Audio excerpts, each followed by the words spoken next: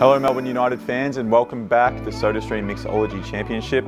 Uh, in the final today we are joined on my right by assistant coach Rhys Carter and to my left we have the GOAT, fellow player Dion Prewster.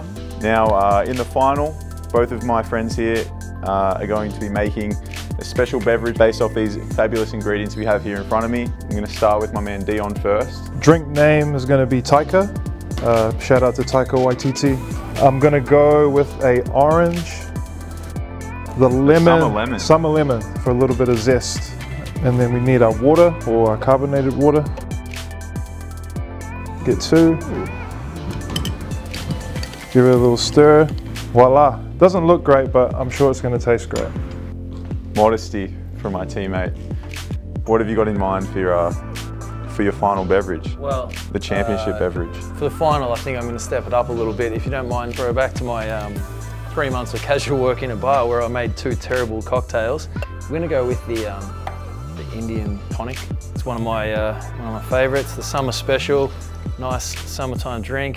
Obviously, with the tonic drink, you want to go with a bit of citrus. So I'm to go with some lime, a bit of mint, and then uh, I believe they do it on the shoulder. Is that right?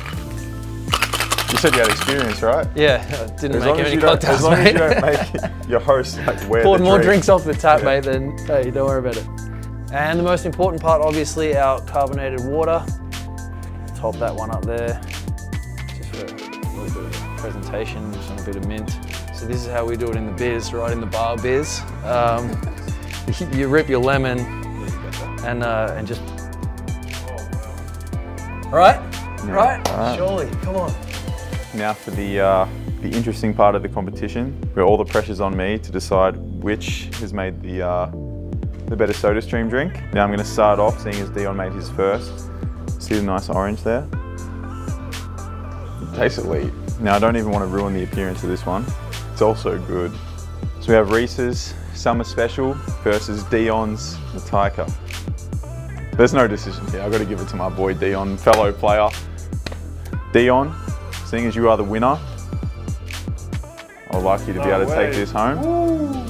And Rhys, you're going to get nothing because you lost, and I'm going to take this one home for myself. mate.